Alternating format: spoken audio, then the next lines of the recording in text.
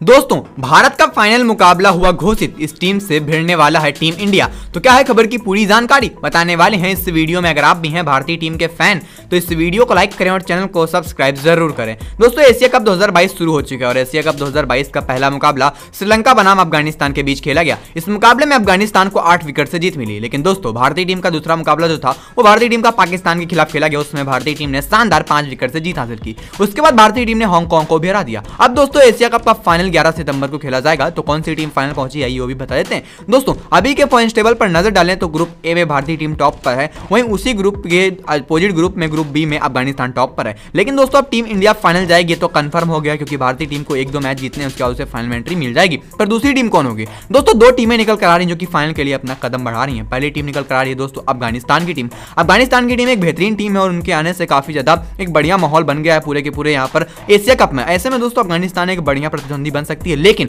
अफ़गानिस्तान और पाकिस्तान का मुकाबला होगा आगे सेमीफाइनल में। अगर उसमें भारतीय टीम ने यहाँ पर पाकिस्तान को जीता हुआ पाया तो भारत और पाकिस्तान के बीच हमें फाइनल देखने को मिल सकता है। ग्यारह सितंबर के दिन, क्योंकि पाकिस्तान और भारतीय टीम ही ऐसी हैं जो दोनों फाइनल में जा सकती हैं और एक बड़ा रिकॉर्ड बनेगा जब ये दोनों टीमें फाइनल खेलेंगी। आपके हिसाब से क्या यही दोनों टीम फाइनल जाएँगी या फिर कोई और, हमें अपनी राय नीचे कॉमेंट में ज़रूर बताएगा वीडियो अच्छी लगी तो लाइक करें और चैनल को सब्सक्राइब ज़रूर करें।